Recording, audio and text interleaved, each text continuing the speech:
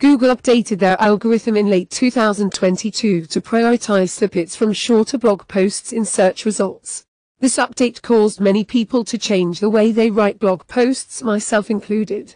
In this post, I'll explain why Google made this change and how you can use it to your advantage. Why Google now promotes shorter blog posts. For starters, it's important to understand what this means for your business. If you typically write longer blog posts, don't worry there's no need to make any major changes.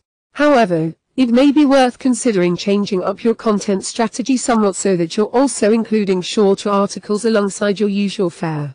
Doing so will help ensure that your website appears in more search results, which could ultimately lead to more traffic and conversions for your business. How you can use this to your SEO advantage. If you're a blogger then you can use generative AI to your advantage. You can generate new ideas for blog posts and use AI to help improve the quality of your writing. Additionally, using generative AI will allow you to attract more readers to your blog as your content will be more visible in Google search results. What are the best practices for SEO? Making your blog post rank higher in search engines can be a challenge, but there are some things that you can do to improve your chances. One of the most important things is to make sure that you're using keywords throughout your post, especially in the title and in the first paragraph. Additionally, try to keep your post focused on a single topic and avoid including too much broad information.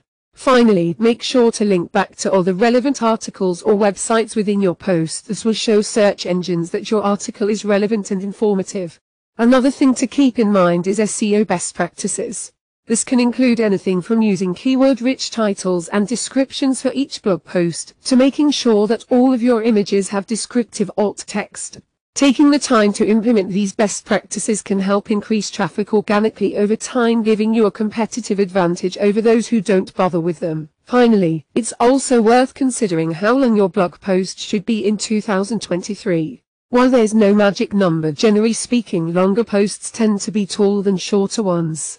This is because they provide more value to readers by offering more detailed information on a given topic.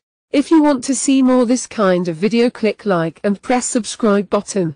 In conclusion, Google now promotes shorter blog posts in order to provide a better user experience. As a business owner, you can use this to your advantage by including shorter articles alongside your usual content. Additionally, you can use generative AI to help improve the quality of your writing and attract more readers to your blog. Finally, remember to focus on SEO best practices in order to increase traffic and organic rankings over time.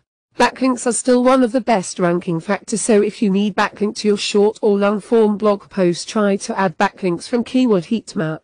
Link in this YouTube video description. SEO is live and fun.